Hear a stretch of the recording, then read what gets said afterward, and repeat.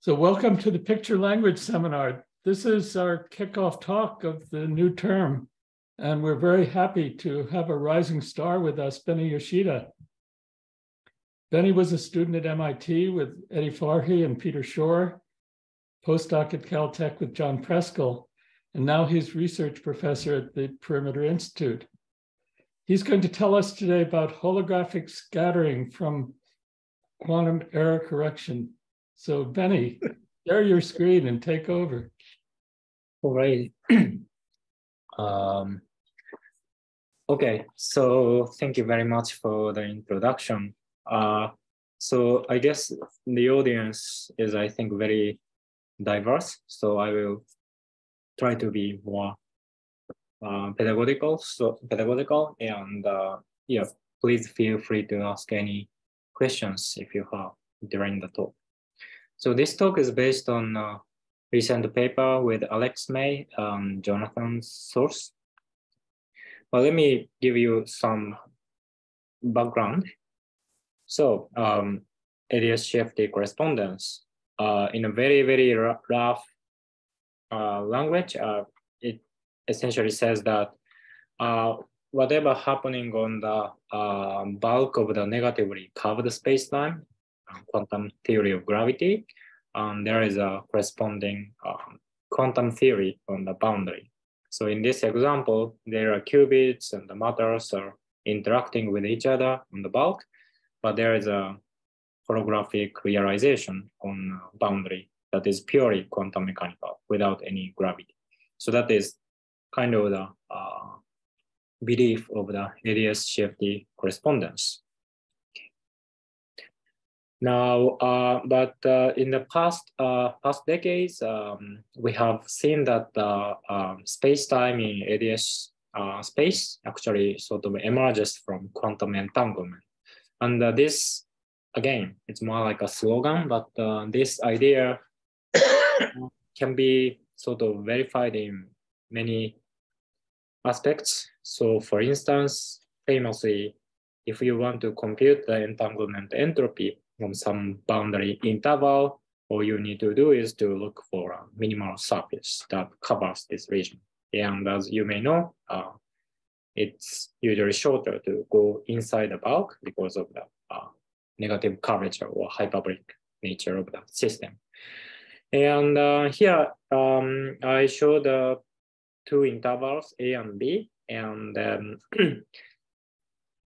um, these two intervals are actually entangled with each other when um, there's this uh, blue solid line is the minimal length. So when there is a minimal surface connecting two boundaries, then usually there is a huge amount of entanglement. So for this reason, uh, connectedness of the bulk space is actually very important when we want to understand the entanglement and the boundary. And uh, another important aspect uh, is that uh, there is this quantum error correction property of the ADS-CFT correspondence. Very roughly speaking, the idea is we have matter on the bulk, which you may just view as a bunch of qubits interacting with each other for simplicity.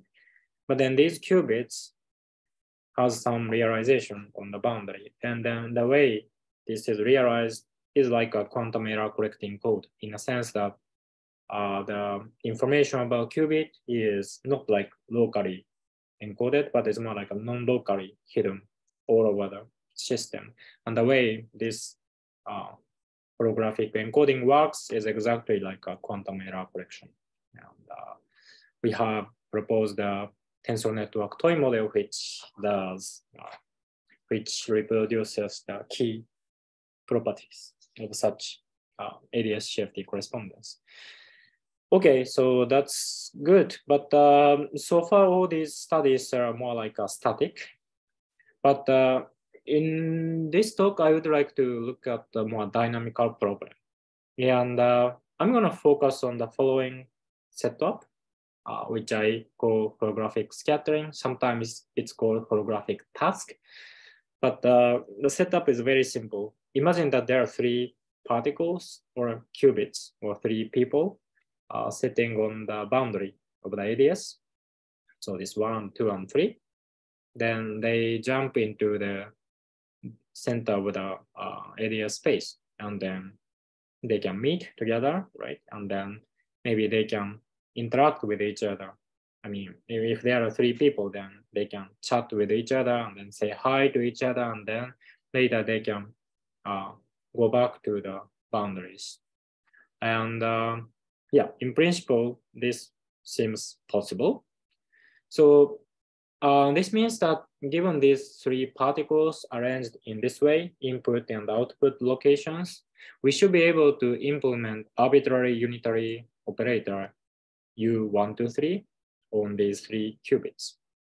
But then the question is, uh, how do we actually realize such unitary transformation on, in the language of the boundary quantum mechanics? Um, we believe that this should be possible because of the ADS-CFT correspondence, but uh, finding such unitary is actually a very difficult problem. And uh, to discuss that, I need to actually briefly review uh, important work by Alex May from uh, three years ago or four years ago. So I will start by doing that. Okay, but um, uh, here what I want to argue is that uh, this scattering or interaction among particles in the ADS-CFT correspondence should be emerging from quantum entanglement as well. Okay, so let me briefly review what uh, Alex May did in 2019. So he has considered a two-particle version of the scattering. So what he considered is like he arranged uh, two particles, C1 and C2, the boundary, and the R1 and R2 are the output locations. Then, so he arranged these particles in a way that it's kind of twisted, right? I mean, input and output locations are kind of, a, yeah, twisted. And then now now, by properly normalizing the uh, unit of time and so on, we can uh, just uh, make sure that the um, yeah the yeah unit of the time normalized, and then it turns out that uh, in the bulk, um, you can just send all the particles to the center of the bulk, and then they can scatter, and then this process uh, takes uh, the time duration that is pi. Um, and uh, that's something you can compute. But uh, if you try to reproduce this physics on the boundary, then that's a problem. So here on the right-hand side, um, this is the boundary uh, sheet. So that's uh, 2 pi rotations, right? So 0 to 2 pi, so theta and then t. Then C1, C2, R1, and R2 are indicated, right? Yeah. Then now we ask that the bulk says that uh, these two particles can interact with each other. So on the boundary, again, uh, they should be able to interact with each other. But then we immediately notice that uh, we don't have actually enough time to do that. Namely, if I bring these two particles, C1 and C2 together, then you can send these two particles to R1, of course, but you don't have enough time to send it to R2. So then you can try to find any kind of path or channel of scattering on the boundary, but uh, it turns out that uh, even though on the bulk, direct scattering is possible, uh, on the boundary, there is not enough time to do the scattering. So this is the kind of the puzzle which was pointed out by Alex May in 2019. And uh, I, th I think this is a big problem because, um, yeah, it's an issue of causality. And then it appears that the causality does not allow two particles to interact with each other on the boundary, which is, yeah, it's a very important and uh, serious uh, issue. And then to make this argument more precise, you can, of course, think about the future and the past light cones. And uh, these shaded areas are essentially like, uh, so red shaded areas are regions where C1 and C2, these two particles can reach on the boundary. And then these blue shaded areas are passed over the output points. And you can see that these two regions do not overlap with each other. So there's no boundary scattering possible in this picture. So then this would, naively, this would suggest that uh, it's actually interactions are prohibited on ADS CFT correspondence. But if that's the case, then ADS CFT correspondence is a bit, yeah, boring. So um, yeah, there should be a way to resolve this issue. And here I just drew the simplified problem by drawing the following causal diagram. Again, on the bulk, you can just bring two particles together and then implement any unitary, in this case, two qubit U12, and then rescatter them to R1 and R2. But on the boundary, there's no direct scattering. So yeah, these two lines, diagonal lines, do not actually in, intersect with each other. Then in this causal diagram, how do we make two input uh, qubits interact with each other? And then the resolution of this puzzle is probably, uh, it's uh, relies on the quantum entanglement. Um, down. So, so here let's make the following observation. Here I drew some diamond-like region, which I call W1, W2, wedges. So W1 is uh, constructed in a way that it is in the future of C1. So C1 can access W1 region. But then after reaching W1 region, uh, these signals can reach R1 and R2, both of them. And similarly, W2 is the region which C2 can reach and then, then scatter off to R1 and R2. Okay. So then, then W1 and W2 are like the kind of region C1 and C2 can utilize in order to potentially make them interact with each other. Now, then given these uh, uh, W1, W2 regions, we can always ask um, they are entangled with, it, with each other or not. Then it turns out in this arrangement of particles, uh, by using the this formula or this entanglement formula, it turns out that W1 W2 are indeed entangled with each other. Well, it's actually very entangled with each other in a sense that if we arrange C1, C2, and R1, R2 so that they can meet, then it seems that W1, W2 are entangled. But if we arrange them so that they cannot meet on the bulk, then W1, and W2 seems like they are not entangled with each other in many cases. So this suggests that um, maybe this entanglement between W1 and W2 is very crucial in order to make two input particles interact with each other. So with this picture in mind, uh, this observation in mind, let us draw this kind of a modified uh, causal diagram on the boundary.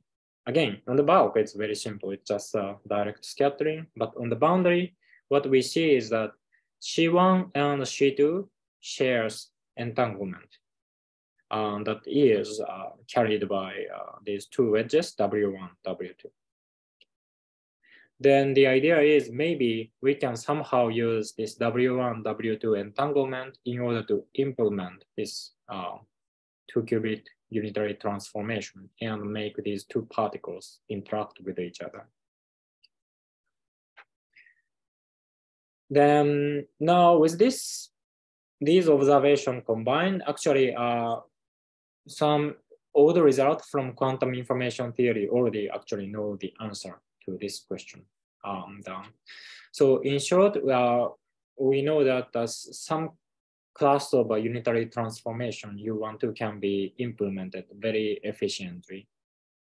And uh, the I think the fame, the most famous example of such an idea is uh, actually called the BB84 protocol, that was proposed as a kind of uh, idea of quantum cryptography in 1984. And uh, yeah, I'm not gonna go into detail of this BB84 protocol. It's a bit complicated, but uh, um, the upshot is that uh, there is some protocol which requires C1 and C2 to interact with each other.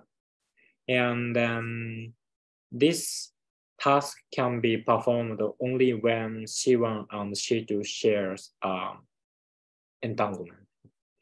And the idea is actually very simple. Uh, you use the quantum teleportation and then you can send C1 teleport to C2 through the entanglement. So now you have C1 and C2, so you can make them interact with each other and then redistribute C1 and C2 to the output locations. But uh, yeah, but this uses a quantum teleportation, so there is a unwanted uh, Pauli errors. So in order to correct that, yeah, you need uh, to do something beyond that. So in that sense, uh, this uh, type of the interactions are pretty limited. Anyhow, there's actually one protocol which is like almost 40 years old. Well, teleportation is more recent than BB84, but yeah, such an idea exists.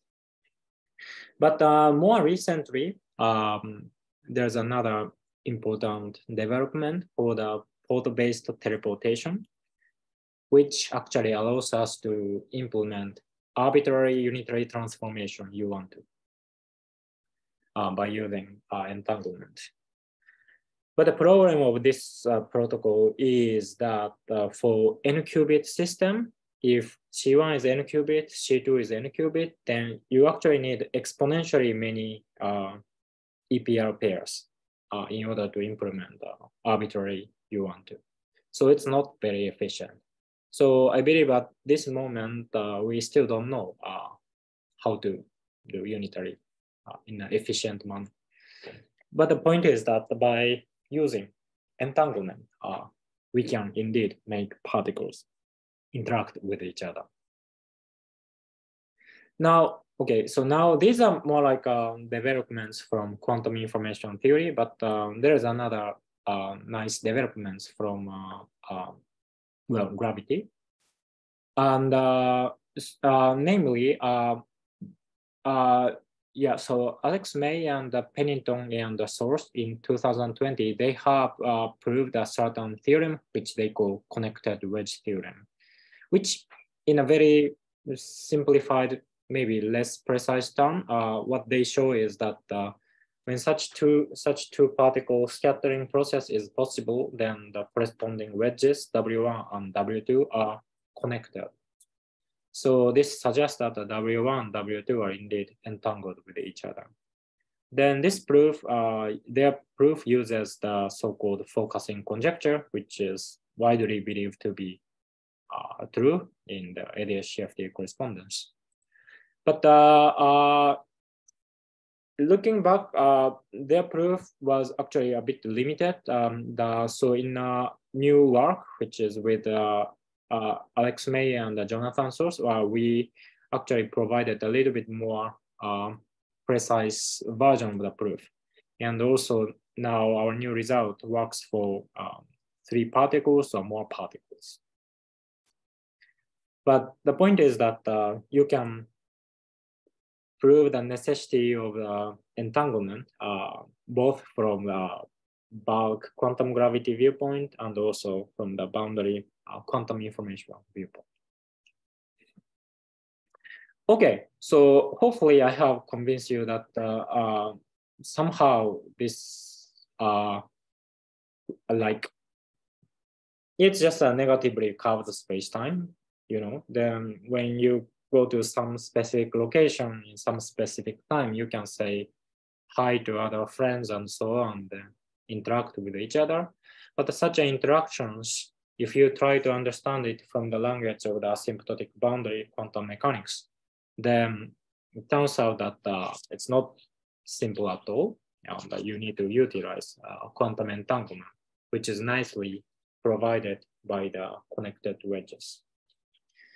And at least the quantum information theory in the past, it, tells us how to do such interactions to some extent, but um, I believe that these protocols are not so natural and uh, it's a bit artificial. So that's uh, still an open problem. Now, yes, so as I mentioned that uh, these protocols based on teleportations and so on, a little bit artificial, I would say. I don't think like when we meet together in the ADS space, I don't think we are interacting through the uh, quantum teleportation. So uh, we want to make um, come up with more uh, natural uh, protocols to make particles interact with each other. So then uh, I would like to advocate that holographic scattering should be emerging uh, from the nature of quantum error correction. Okay, for that, let me just briefly remind you of uh, the idea about quantum error correction. Um, again, for simplicity, I'll uh, think about this uh, uh, two plus one dimensional bulk and one plus one dimensional boundary. Then uh, there's some known result in ADS CFT correspondence, which says uh, causal wedge reconstruction. Uh, what it says is that uh, we look at some bulk point, which I indicated with phi, and that's an operator that's acting on that point on the bulk. And then this operator can be, of course, written as some boundary operator. But it turns out that if it's con contained in this uh, minimal surface, then you can always write it down as um, some operator on the boundary like in this interval A. So it's a kind of a localized operator on this interval. So that is called the causal wedge reconstruction. Now the idea of quantum error correction uh, emerges from the following observation. We will look at the operator phi sitting at the center of the bulk. Then we notice that this phi is contained in the causal wedge of interval AB, interval BC, interval AC, right? So this means that the phi operator can be written as an operator OAB, OBC, OCA. So three different uh, operators. Now, this fact that the bulk operator phi can corresponds to various different but equivalent operators is actually a nature of a quantum error correction, meaning that even though OAB, OBC, OCA are different operators, but they act in the same way in the uh, subspace, not the entire. So they are different operator, of course, in the whole Hilbert space. But if you restrict your attention to subspace of the Hilbert space, then these three operators have the same action. And uh, this subspace is usually called uh, uh, code word subspace or quantum code subspace. So for this reason, it seems that from this uh, very simple observation based on causal wedge reconstruction, uh, we can see that uh, the way bulk physics is realized on the boundary holographically, this realizes the kind of nature of quantum error correction. And um, well, to, to make this observation more um, clear, um, you can imagine that uh, A and B and C are qubits, right? Then suppose that you lost all the qubits on C, then you only have access to A and B, but still you can reconstruct the information about the phi, this bulk information meaning that so losing one subsystem is fine in this case. So this encoding uh, is protected from the erasure error of qubits. So this is the way to see the quantum error correction nature of uh, ADS CFT correspondence. Okay, now, um, now, so in analogy with this uh, Alex Mays observation, we can actually uh, easily argue that the quantum error correction nature of the ADS correspond ADS CFT correspondence already already requires quantum entanglement. indeed, um, we can easily show that uh, there is actually not enough time to delocalize quantum information over the whole system um, in a simple uh, boundary picture. Because by the time uh, the particle reaches to the center of the bulk, this information should be now completely delocalized over the whole quantum system on the boundary. But if you look at the boundary causal uh, structure, then you notice that the, uh, the bulk, the input signal can cover only half of the entire system. So unless we utilize quantum entanglement in some clever manner, we cannot uh, achieve such a quantum error correcting code like encoding. Now, in order to demonstrate why this quantum error correction idea can be a key to resolve this issue about holographic scattering, uh, we it is actually uh, useful to, useful to think about three particle scattering procedure. Uh, so for this, uh, we arrange three qubits, one, two, and three, like shown in this uh, left-hand side figure. And then when they meet together, they interact with each other. So this time, it's arbitrary three qubit unitary transformation, U1 to 3. Then, yeah, so they can do the direct scattering. So we naturally expect that uh, on the boundary in the quantum mechanics, we should be able to do the same thing. So on the right hand side, I drew uh, the causal structure of the uh, input and output point. It's uh, located like equally. Then you can actually easily see that this time, two in, two out scattering path is allowed. So for instance, you can bring C2 and C3 together and then scatter them to R2 and R3. So you can implement two qubit unitary in this geometry, but three in, three out direct scattering is not possible again in this setup. Now with this observation in mind, actually I can always uh, draw some uh, nice uh, simplified uh, boundary causal uh, graph. So on the right hand side, uh, so the point is that there is actually intermediate points, which I call M1, M2, M3. And these points uh, points represent the, this two in, two out scattering process. That is, uh, two particles can come together and scatter off to the output locations. So this right-hand side figure basically summarizes the the uh, causal, stru causal uh, structure of the uh, this bulk physics seen from the boundary viewpoint.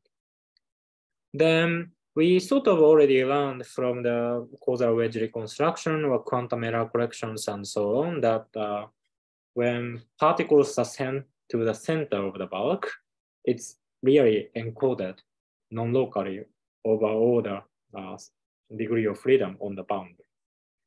So then, then we see that these interactions are applied, U1, 2, 3 are applied when these three particles are encoded. So this sort of uh, motivates us to think about the following scenario.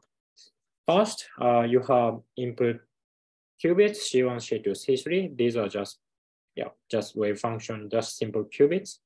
But then when we send them to the center of the bulk, um, the C1, C2, C3 will be encoded into some subspace of quantum error correcting code. Then when they reach these intermediate regions, M1, M2, M3, um, they will be completely encoded into some quantum code. And then this is where the interaction should happen. And then they may interact with each other in some way and then later they scatter and then re-emerges, you know, emerges as an output information R1 and R2 and R3. So this is like uh, the physical picture we would we should have um, in order to understand this uh, scattering process. Okay, now Okay, so this is like a blueprint for three particle scattering procedure. But as I mentioned that um, direct scattering is not possible, so we should be relying on the quantum entanglement. So the next task is of course to look at what kind of quantum entanglement is available to C1 and C2 and C3. And then this time we can draw uh, these three wedges, W1, W2, W3.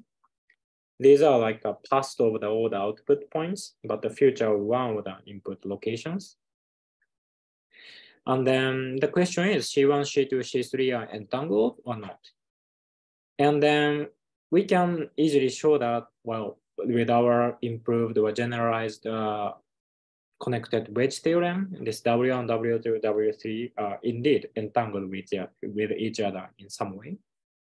Okay, so that's a good news. So we should try to use this entanglement. But there is actually a problem. Um, it turns out that in this particular geometry we considered, uh, these W1, W2, W3 are somehow entangled with each other. But if you look up any two subsystem, let's say W1, W2, uh, Uh, W2, W3, and so on, then they do not share any bipartite entanglement, meaning that their entanglement is more of a multipartite nature. So W1 is entangled with joint of W2 and W3, but it's not, it's, it's, it's basically multipartite entanglement. So it's there's no EPR pair you can utilize in this setting. And this is a big problem because all the previous protocols like BB84 or quantum teleportation or port-based teleportations and so on, these, these essentially rely on teleportation. But teleportation requires uh, EPR pairs, right? But in this case, we don't have EPR pairs. So yeah, so these teleportation-based protocols do not work. But uh, we have resolved this issue in a very nice trick we came up with. That is, instead of considering entanglement between W1, W2, and so on, we actually consider the entanglement between W1 and M3 region. Because remember that M3 is a future of W2 and W3. So we should be, in principle, send some of the degree of freedom from W2 and W3 to M3 locations. Then we can have EPR pair because W1 is now entangled with W2 and W3. So then by utilizing this EPR pair between different time slices, um, it turns out that uh, we can achieve uh, encoding into a quantum error correcting code. So now by looking at this uh, causal structure, of course, C1 can send a signal to M1 and M2 because the lines are connected. But now by making interactions, you know, imposing some interaction between C1 and the part of the EPR pair, it's actually C1's information can be sort of evenly distributed over M1, M2, M3, kind of non-local. So by utilizing this uh, quantum entanglement, uh, yeah, you can achieve a nice uh, encoding into quantum error correcting code. And this kind of idea is actually called entanglement assisted quantum error correction in QI literature. Yeah, yeah, so yeah, entanglement assisted. Um, the whole point is that uh, we make input and part of the EPR pair interact with each other, then you, you don't need to touch M3 degree of freedom at all in order to achieve this non-local encoding. Now, uh, for people who are familiar with um, some of the developments on the scrambling or black hole information loss problem and so on, you may find that uh, this mechanism is actually same as the sort of the uh, Hayden-Preskill recovery program where uh, you send the information into the black hole, but uh, this black hole is entangled with the uh, early radiation degree of freedom. So then with this analogy, C1 and M3 are like an entangled black hole. Then M3 is like the early radiation. And then it's essentially the same uh, mechanism that uh, why this information can be non-locally encoded over M1, M2, M3. Yeah, so I expect that there should be some uh, relation, but uh, you know, I don't have any concrete thing to say, but uh, they are, it's, it's essentially the, the same me mechanism.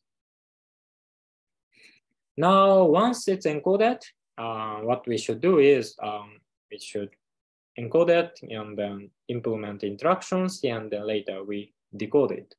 But the nice, uh, clever thing about this protocol is that uh, decoding is possible even if you have only access to only two subsystems, right? So in this picture, in this uh, green, uh, you can reconstruct the information without ever touching M3. Just having access to M1 and M2 is enough. So yeah, in this way, um, a, a, scattering is possible. Now, the final task is to come up with how to make these particles interact with each other. And then that is about the interaction in the quantum error correcting code. So in the language of quantum error correcting code, what we have done is that we have prepared three input information on C1, C2, C3, and then we encoded it into uh, some code word of a quantum error correcting code that is now distributed over M2, M, M1, M2, and M3. Then in order to make them interact with each other, we need to apply the so-called logical operators. And uh, logical operators are operators, with unitary operators, which you implement in order to change the encoded qubits, logical qubits. But changing the encoded information is essentially making them interact with each other in the uh, code word subspace of uh, quantum error correcting code. So what we should do is to implement logical operators. But there's one problem that is uh, Psi1, Psi2, Psi3 are encoded into quantum error correcting code now. Again, distributed over M1, M2, M3, that's good. But M1, M2, M3 are partially disconnected regions, meaning that, uh, well, this means that uh, the operation you can do should have a factorizable form, V1 times V2 times V3, because yeah, M1 and M2 are causally disconnected. So you shouldn't be able to implement uh, non-factorizable unitary. So we are forced to apply these instructions by using transversal factorized logical operators only. So as an example, I wrote down some instruction on the right-hand side, but this is an example which cannot be implemented because you cannot rewrite it into this factorized form. So the type of the interaction we can implement is still quite limited. Then now, uh, okay, now if you are familiar with the developments of the fault tolerant quantum computing, uh, this transversal logical operator is a very big, uh, famous program, uh, almost like since the beginning of uh, quantum information theory. I mean, in a sense that like after the invention of quantum error correcting code, people immediately noticed that uh, these transversal logical operators are very important object to study. And then there are various results known about uh, what kind of transversal logical operators can be implemented and so on. But uh, so far, what we were able to do is that uh, we can show that uh, arbitrary Clifford logical gate can be applied uh, in our case. And then for this protocol, we only need a linear number of uh, linear amount of uh, EPR pairs. So what we can show now is that three qubit or three spins can be in, can be they, they can interact with each other uh, in a very efficient manner and um, through uh, arbitrary Clifford gate. And also we show that some of the uh, phase gate can be implemented uh, very uh, efficiently. But we, we, we haven't been able to come up with a protocol that works for arbitrary uh, quantum gate at this moment. Then again, I want to mention that uh, this transversal logical gate is a very important subject to study. Uh, in quantum information theory, uh, we know that uh, set of uh, transversally implementable logical gates must form a discrete group. So not all U1, 2, 3 are transversally implementable. Um, that's a very known result, a famous result due to Eastin and Knill. But uh, this is a result for uh, exact quantum error correcting code.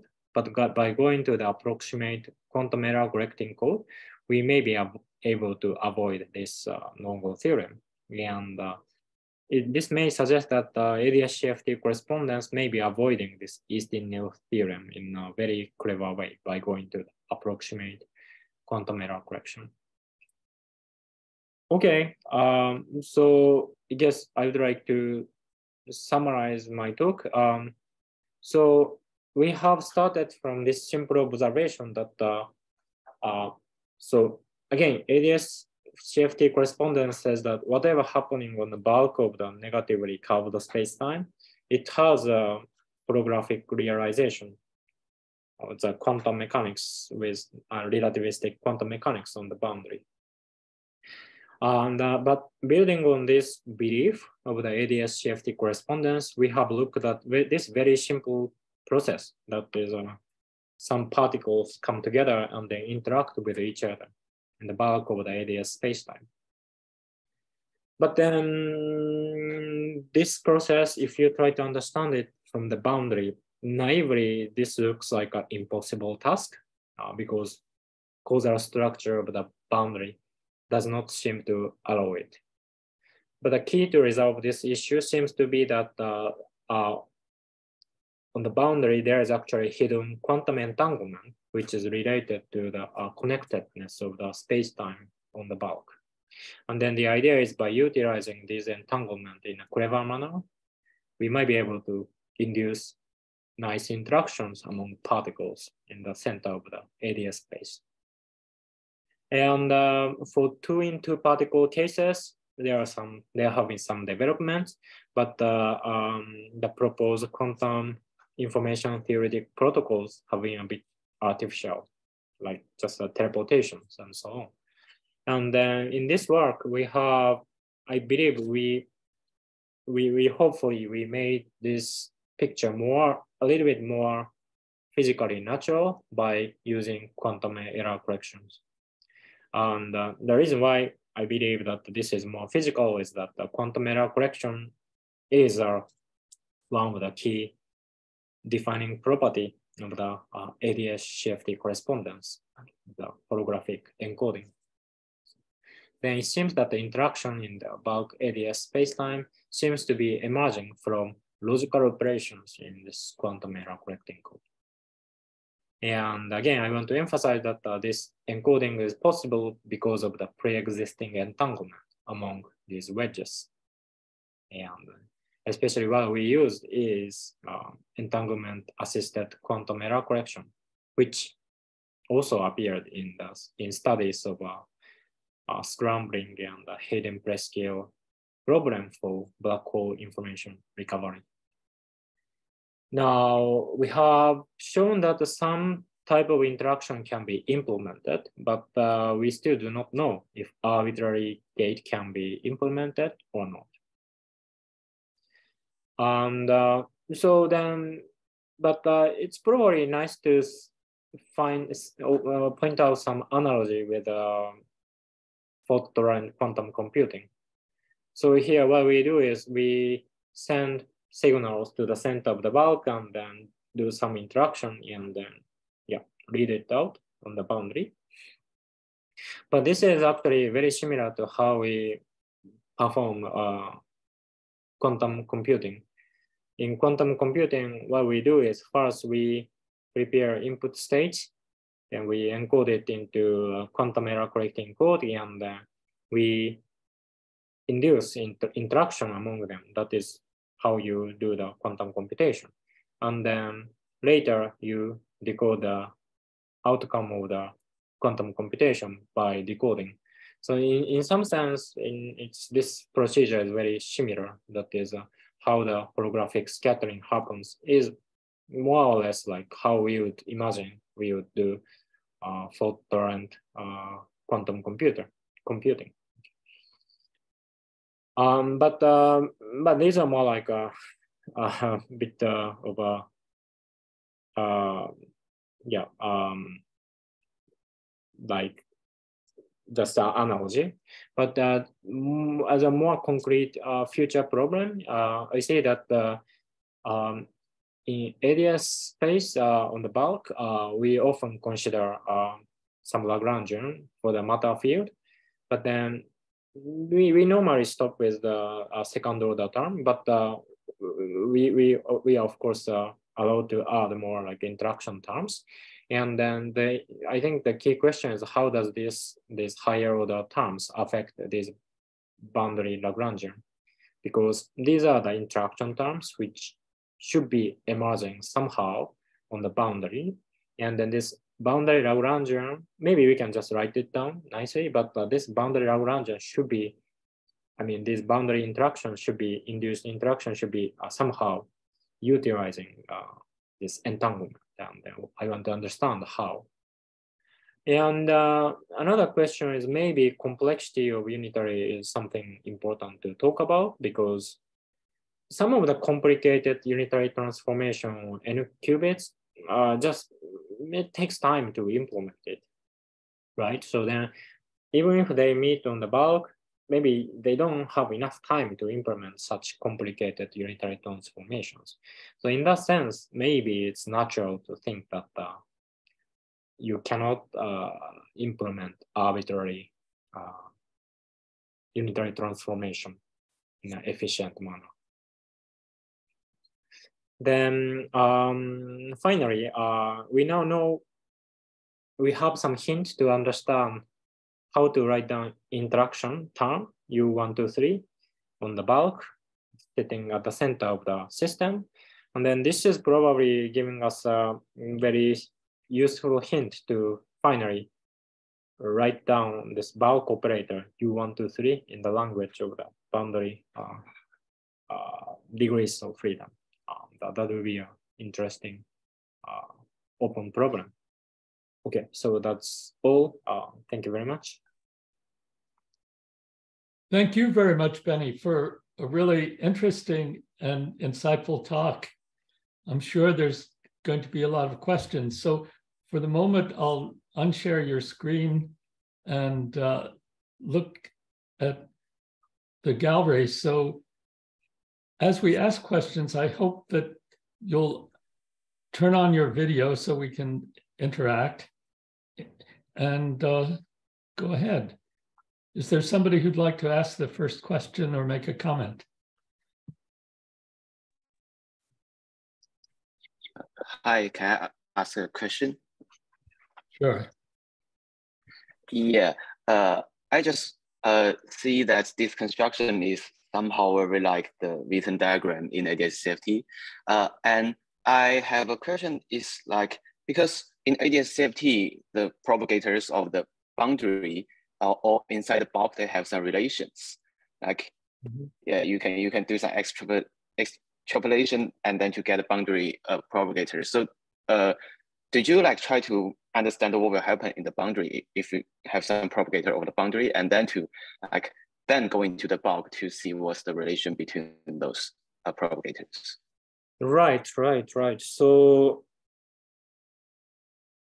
so for on on the bulk, uh, the calculation is very it's, it's simple because let's say I add like a third order term and there we can just do the calculation to talk about two particle scattering. So on the bulk side, the calculation is easy, but on the boundary side, uh, this this this seems to be very complicated in a sense that uh, um,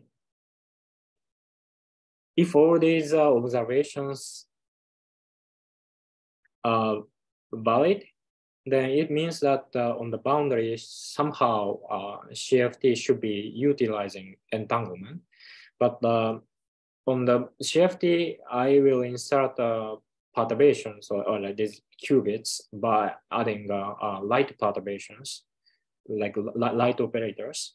But then somehow I feel that uh, this uh, connectedness of the wedges and so on are intrinsically related to heavy operators. Uh, that's just, just my feeling. And then so then I probably need to think about uh, like coupling with heavy operators and, and so on. Then by looking at this causal structure on the boundary, then then yeah, it looks a bit complicated and uh, yeah. So, but so at, at this moment, I do not know how to handle this calculation, but uh, may, maybe for experts, it might be uh, doable calculations. But uh, yeah, I do believe that uh, matching these results in a convincing way, and then if it's done nicely, then it should be able to tell us the importance of the entanglement uh, more uh, in a transparent manner. So yeah, this is exactly is I think it's a very important problem. Yeah.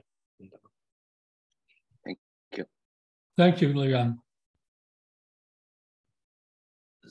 So, Beni, do you have any results for more than three particles? More than three particles, right? Um,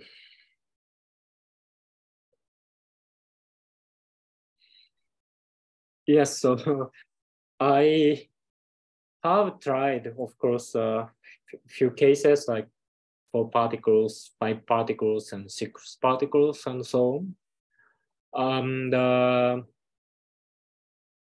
yes, so, so um, what I can see is that it seems that, uh, yes, the geometry is giving us uh, enough uh, entanglement to, to achieve nice uh, quantum error correcting code and uh, right. But um, yeah so that that that that that is my observation i have but uh, i do not have any uh, generic uh, result to to generic or more precise or rigorous result at this moment and i, I have another question uh, can you formulate some of your results as precise mathematical theorem? Uh, to some extent. Um, so let's see. Yeah. So what are our results? Um, so our result is like like it's a we we technically we have three type of results. First is about the proof from the gravity. That part is pretty rigorous. And uh, and uh, so then so in a sense that uh, by using uh, essentially a classical gravity result we prove that uh, this wedge needs to be connected. Uh, that part is pretty rigorous. And under the precisely stated assumptions.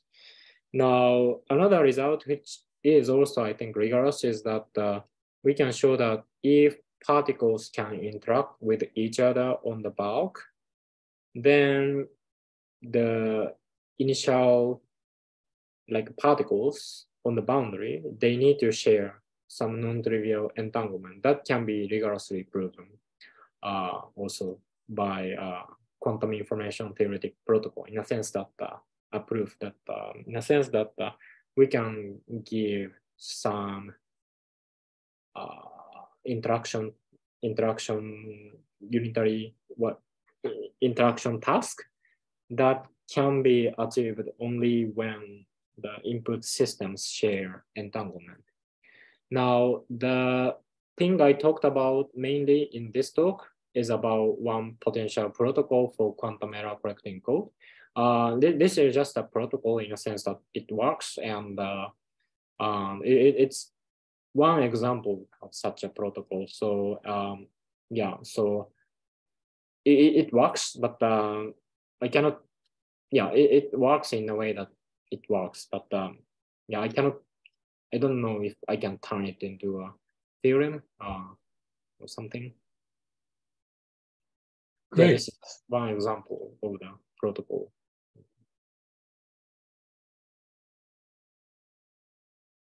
So are there other comments or questions?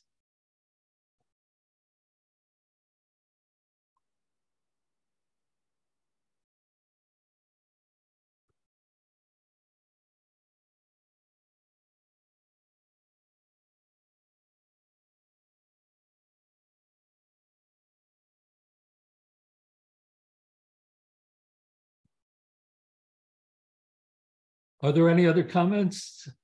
If, if so, please unmute yourself and talk. Otherwise, I'd like to thank, yes? Well, I'd like to thank then Beni again for a very interesting talk. And I hope you add in your slide the reference to your recent papers. And uh, Yes. we'll look forward very much to how this program progresses. Thank you. Yeah, uh, thank you very much for, for having me. Yeah, and we'll continue next week. Next week's talk is by Dan Freed, and we have a very good lineup for the rest of the term. Thank you and bye. Bye bye. See you next week.